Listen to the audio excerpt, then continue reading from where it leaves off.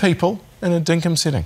But the eons old summer West Coast racing circuit, four different tracks in 10 days, is under serious threat, with three of those historic tracks likely to become history under racing industry reforms, which are now before the government.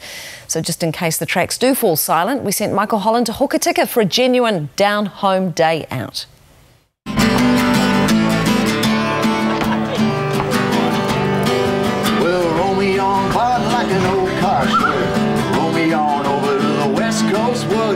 As stables go, they're no great shakes, but then that's the charm.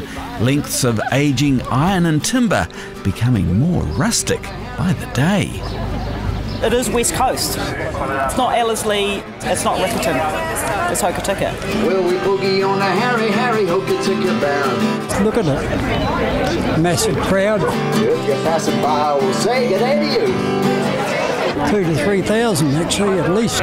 Yep, a dinkum two hot dog occasion that comes round but once a year and could in fact be on its last lap.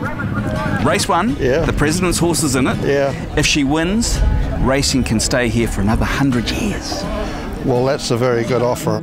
Although his face as he watches his young charge in the home stretch, not exactly a positive omen. After 134 years, Hokitika is one of three West Coast courses recommended for closure under a radical shake-up of the racing industry being considered by the government. And she ran where? Oh, she beat she beat one home. we love the meeting. It's really family oriented. It's a great day on the Hokitika calendar. You've got the Southern Alps to the back around there. You've got the Tasman Sea this side. Stunning. It's just stunning. Happy people. And they get dressed up on the coast. Yes, we do. Yes, yeah, it's very important. Tony Prendergast has been bringing his horses over the hill from Canterbury every summer for most of his training career and doesn't want it any other way. Off and on for 45 years. It's an outlet for horses that aren't quite good enough to race metropolitan meetings. The sentimental favourite of the meeting, this lad here, named Diplomat, prepared by the country's oldest trainer and certainly most delightful, 99 year old Barbara Blackie, known simply as Mrs. B. We met Mrs. B two or three years back when she put an amateur to work, but her health keeping her away from Hokitika this year. Not to be for Mrs. B. No, it uh, wasn't a dream result we were recording. I've only taken three horses to Hokitika before, and every one of them was won.